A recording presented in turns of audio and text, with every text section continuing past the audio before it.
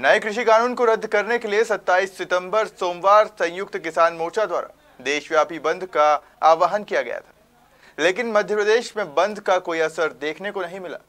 वहीं बात करें प्रदेश की संस्कार धानी जबलपुर की तो भारत बंद कोई असर देखने में नहीं आया।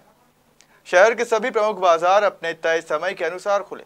केंद्रीय कृषि बिल के विरोध में संयुक्त किसान मोर्चा द्वारा भारत बंद का आह्वान किया गया था। लेकिन जबलपुर में यह बंद बेअसर दिखाई दिया। धरना प्रदर्शन स्थल पर भी नाम मात्र के ही किसान नेता दिखाई दिए। वहीं बंद के बारे में नेताओं का कहना है कि बंद को व्यापक समर्थन मिल रहा है, जबकि हकीकत इससे कोसों दूर है। आह्वान तो संयुक्त किसान मोर्चा का है, जो बेचारे दस महीने से मोदी सरकार के दरवाजे पर अपने काले कानून वापस लेने की विनती कर रहे हैं। और मोदी सरकार यहाँ से अमेरिका तक तो आवाज़ जा रही है और स्वयं असम प्रधानमंत्री जा रहे हैं। पर नाक के नीचे वो किसानों की परेशानी दिख नहीं रही है। कांग्रेस के साथ हमारे communist party, Janata Dal, Bahujan Samaj party, अन्य हमारे जो विपक्षी दल हैं, वो सभी इस आंदोलन को समर्थन दे रहे हैं। उनके पीछे खड़े हैं। हम इस बात को समझ पा रहे हैं कि पिछले एक सालों में किस व्यापारियों की छः महीने की दुकानें और प्रतिष्ठान बंद हुए हैं। वो भी हमसे कहीं ना कहीं हम उनका भी नेतृत्व कर रहे हैं।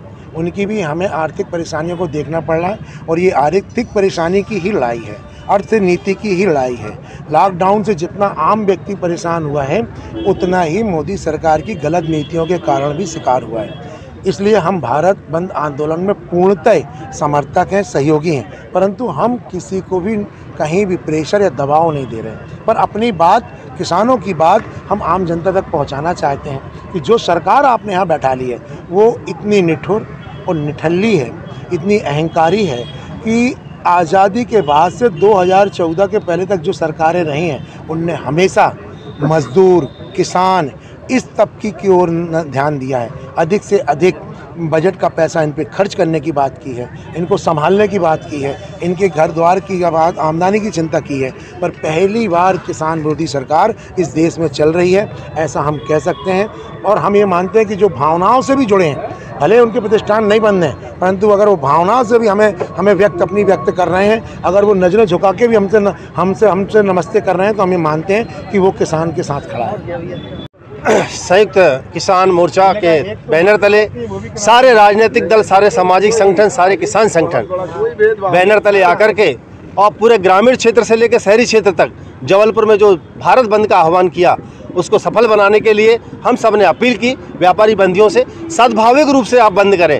और हम लोगों ने कोई पुरजोर तरीके से, बलपूर्वक किसी तरीके से हमने आज प्रयास नहीं किया और ईमानदारी से जो भी दुकानें बंद हुई हैं वो हमारा समर्थन है और उसको हम भारत बंद को सफल मानते हुए आज यहाँ पर प्रदर्शन कर रहे हैं। हमारे साथ में आदरणीय दिनेश यादव जी और तमाम हमारे कम्युनिस्ट पार्टी के नेता कुररिया जी और राजेंद्र गुप्ता जी तमाम साथी हमारे यहाँ पर है। तरीके की तैयारी आप लोगों ने की थी बंद को लेकर? उस तरीके से लगता है आपको कि ये बंद सफल हो रहा है या आपका समर्थन आपको उस तरीके से व्यापारियों द्वारा समर्थन मिल रहा है? नहीं व्यापारियों का समर्थन चूँकि जो ये बंद का जो आह्वान है अब चूँकि लंबे समय से लॉकडाउन का एक चल रहा है क्रम। और उसमें व्यापारी वैसे ही इस सरकार से त्रस्त हैं जीएसटी से त्रस्त हैं, तमाम सरकार की योजनाओं से त्रस्त हैं। और उनको हम और यातना नहीं देना चाहते, हमने तो अपील की है कि आप स्वेच्छा से बंद करें। हम बिल्कुल ज़बरदस्ती नहीं करेंगे। और व्यापारियों ने बहुत सद्भाविक रूप से बहुत सारे क्षेत्रों में अभी तक बंद करा है, दो बजे तक हम लोगों ने अपील की, दो के बाद आप खोल लीजिए। तो काफ़ी क्षेत्रों में हमारे बंद सफल है। और मुख्य मार्केट में भी हम लोगों ने मसाल जुलूस निकाला और संदेश दिया। गौरतलब है कि तीन नए कृषि कानून को रद्द करने के लिए पिछले करीब दस महीनों से राजधानी दिल्ली में किसानों का धरना जारी है। मोदी सरकार की अनदेखी के चलते सोमवार को भारत बंद का आह्वान किया गया था, ताकि सरकार पर दबाव बनाया जा सके। फ़िलहाल देखना होगा कि किसान संगठनों का अगला कदम क्या होता है। ब्यूरो रिपोर्ट, खबर मध्य प्रदेश, जबलपुर।